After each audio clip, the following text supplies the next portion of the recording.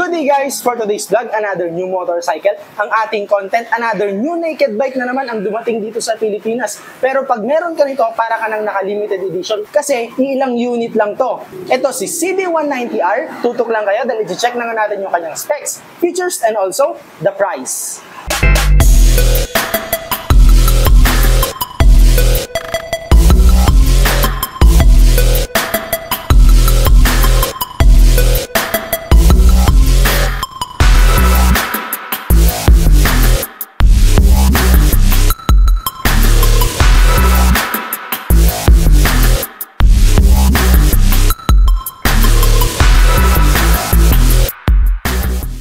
Ito na ang ating CB150R guys and if you are interested, please PM me sa ating Facebook page, Easy Ride Journey. Itong unit nga na to ay hindi na-release ni Honda dito sa Pilipinas pero merong nakarating kaya limited edition lang to. Kaya kung mapaibig ka nito ay paunahan na lang talagang magpa-reserve. Ang colors available naman natin ay ito lang, Repsol Design. Kung iniisip mo to in actual, kung ano nga bang itsura nito, kung gaano to kalapat at gaano to kalaki, may pagkamala dominar yung assembly ng kanyang body, yung kanyang tire size, halos magkaparehas sila, lalo na dito sa kanyang harap. Dun sa likod, konting diferensya lang. Yung kanyang tangke, kung nakita nyo na si CB150, medyo mas malaki lang to. At yung kanyang headlight naman ay parang kay Z1000. Pero mas flat lang nga ng kaunti. Check na nga natin guys itong kanyang front wheel. Mapapansin agad natin dito yung magandang features nito na naka-ABS na siya or anti-lock braking system. Napakagandang i-equip dito sa motor na to itong ganitong feature kasi nga naka-naked bike ka na. May speed to, pwedeng pwede mo rin gamitin sa bankingan. Kaya gamit na gamit mo yan lalo na kung sa mga madudulas na daan o kaya mabuhangin. Kung sa sudden brakes naman ay napakaganda na rin to kasi nakatupat caliper, naka-disc at syempre samahan mo pa yan ng matabang gulong. Sa atin namang fender guys, maganda yung kanyang design. Bagay na bagay dun sa kanyang pagka-naked bike, mababa lang dito. Dito naman sa bandang harapan, sa side niya ay may butas. Sa atin naman pong suspension ay hindi ka nalugi dito. Naka-upside down telescopic fork na na nagbigay ng parang expressway legal look. Ito naman pong ating rubber ay naka-tubeless na. Itong brand na ginamit ay CST, makapit na rin. Mapapansin din natin itong kanyang mags design ay wavy. Akyat na nga tayo dito sa kanyang headlight guys. Mapapansin natin na lahat ng ilaw nito ay LED na. Meron na rin tong built-in na daytime running light nandito sa kanyang side. And of course, kung makikita mo to in actual, mukha siyang shark Ayan, very matulis yung pagkakadesign sa kanya at super aggressive kung makikita mo siya in actual. Maganda yung kanyang pointed headlight. Iba pang details natin dito, yung kanyang speed meter reader ay digital na rin. Ito naman guys yung itsura niya dito sa kanyang top view. Kung makikita mo siya in actual, may wide body design dito sa kanyang harapan. Nandito rin sa kanyang taas yung kanyang turning lights which is okay na okay. Kitang-kita ka nung kasalubong mo. May Honda rin dito na decals at saka yung kanyang suspension ay adjustable na rin.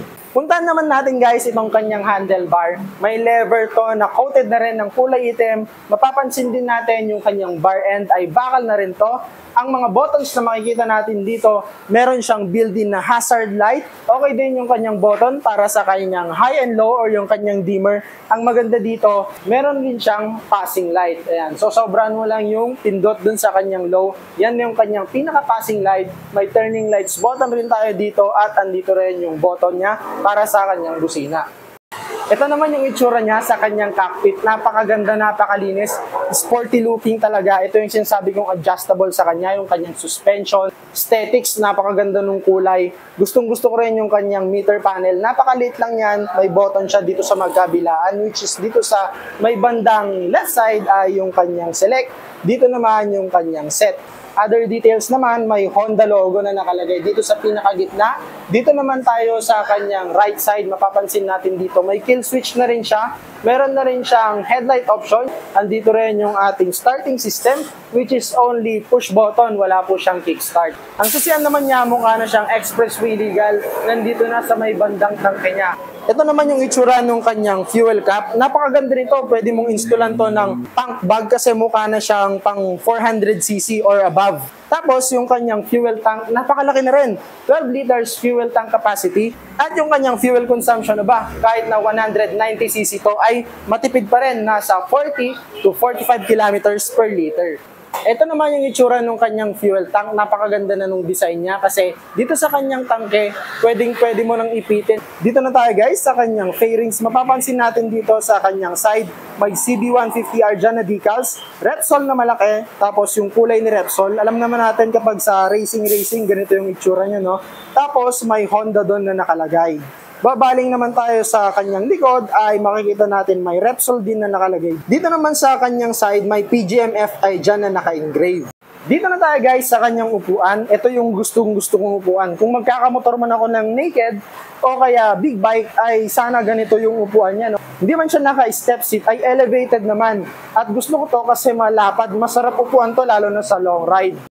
Isa pa sa gusto ko dito ay sobrang lapad nito guys. Kung makikita mo siya in actual, napakaganda. Tapos itong kanyang upuan ay two-tone na to. Sa parteng upuan ng driver, naka anti-slip na to. Tapos dito naman sa parteng pillion seat ay ito yung naiba sa kanya. Meron na rin siyang extra na rubber dito. Sabitan to ng helmet o kaya pwedeng hawakan, pwedeng siksikan ng kapote. Ayan. Kasi wala naman tayong compartment. Isa sa maganda sa kanya ay itong kanya mga air intake dito, nagpaporma dun sa overall looks niya. Sa mga nakita nating mga naked bike, ilan lang yung may mga ganitong upuan na malalapad. Mas prefer ko naman to kasi mas maganda pang long ride. Baba na tayo guys dito sa kanyang engine. May engine type ito na single overhead cam, single cylinder, 4-stroke at ang maganda dito, naka 4 valves na rin siya. Na alam naman natin na mas malakas yung 4 valves. Kaya sa takbuhan ay hindi ka na rin bibitinin ng motor na to. Meron tong 5-speed manual transmission. And of course, fuel injected na rin. Sa kanya namang top speed ay may claim to na 107 kilometers per hour. Pero sa tansya natin at sa experience natin, mga mag-a-add ka lang ng 20 to 25 kilometers per hour. Yun yung pinaka-rurok, pinaka-top speed ng mga motor.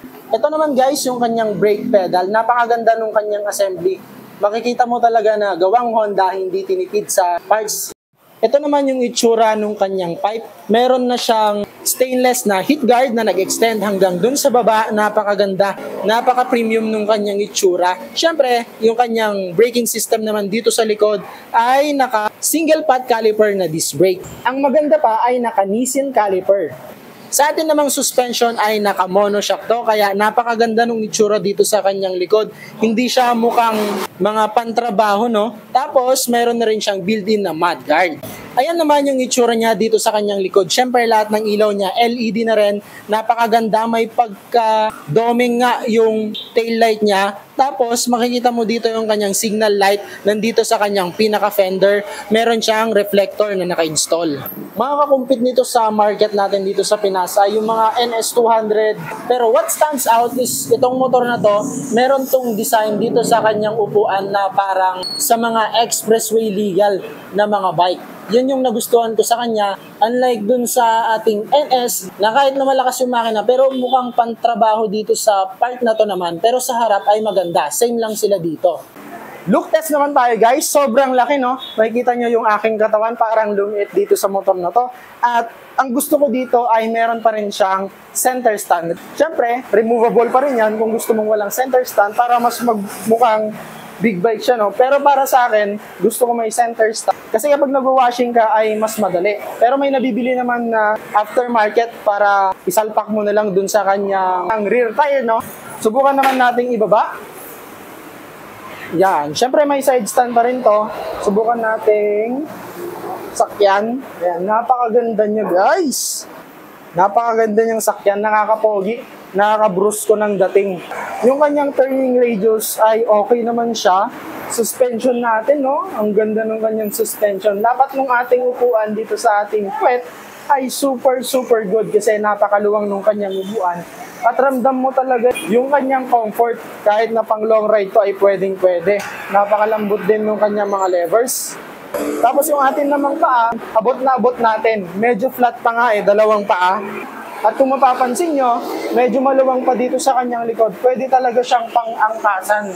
Yung ating ni ay nakamold dito sa kanyang gas tank na kung sa high speed ay pwedeng pwede mo siyang gamitin, no? Nakaka-deflect din to ng hangin.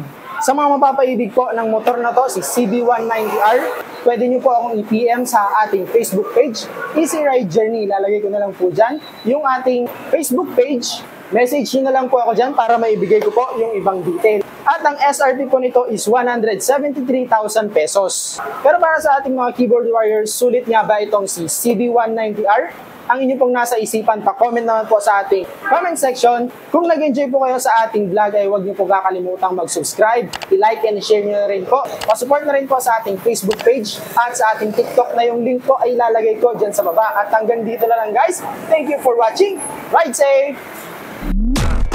Ah ah ah ah ah. ah, ah.